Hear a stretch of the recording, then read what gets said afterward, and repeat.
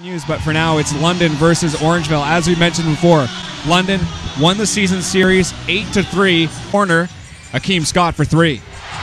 He's got it. And Justin Moss drops two. Expect to see that quite a bit more tonight. The shot clock, great pass and a great finish. Dad too. Number three in red. Here's Nick He tries to answer back, and he will with a big three. Ten seconds on the shot clock. He's stripped to the ball.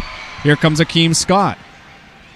Gorgeous play. 66 fouls came in that one, so uh, we're not on pace for that yet. Keem Scott with a fantastic finish. This would be for two. It's short, however, and it's one there by Lewis Monks. Oh, great pass to Tyrone Watson. Big slam, too. Warren Ward with it. Nice dribble for three. Brooks, nice dish off to Watson. Iverson finding a bit of space. Now off to Akeem Wright for three. He's got it. Keem Wright. This is Capers with another slam. It's tipped out, and now here come the A's on the fast break.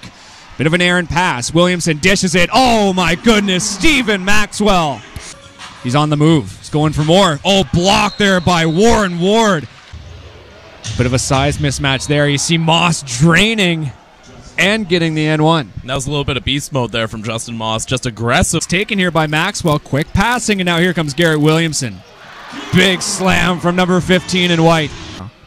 Monks tries to get the three. He'll draw the foul. Whoa. Great play there from Monks as he's able to drain that shot with Nick Okorie. Uh, they've closed this gap with 3 minutes 40 left. London Lightning have some trouble, although Keem Scott, if he keeps making shots like that, they're going to be just fine. Akeem two points in the night after that free throw. Anderson hands it off to Maxwell along the baseline.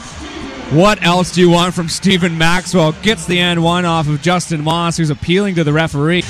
So again, London takes game one, 118 to 110. They win game one of this Central Division semifinal.